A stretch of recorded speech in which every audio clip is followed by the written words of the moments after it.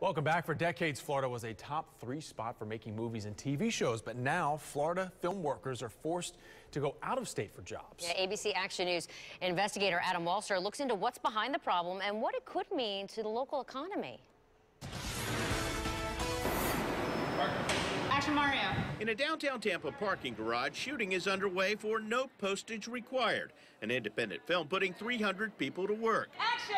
Charlene Clossy is producing and stars in the film. It's challenging to make a movie anywhere. It's even more challenging to make a movie where incentives aren't happening. A 10% incentive from Hillsborough County helped bring the movie to Tampa, but Clossy considered filming elsewhere since Florida currently has no film incentives. We're responsible to our investors. This map shows Florida is one of only 16 states that currently has no film industry rebates or tax credits. Georgia, Georgia, Los Angeles, Georgia, Texas, Georgia, Georgia, Georgia. Georgia's cleaning our clocks.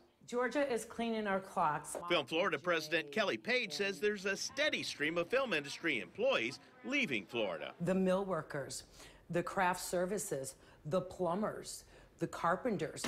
Georgia's incentives, which can reach 30%, persuaded Ben Affleck and Leonardo DiCaprio to build a replica of Ybor City in Georgia for their upcoming movie, which is set in Tampa. It hasn't always been like that. The state approved $269 million in film tax credits in 2010. That was supposed to last six years, but the money ran out almost immediately. The reason the Florida Office of Film and Entertainment awarded incentives on a first come basis with no consideration of the number of Floridians hired or the merit of the projects. Some money even went to companies that produced video games and commercials.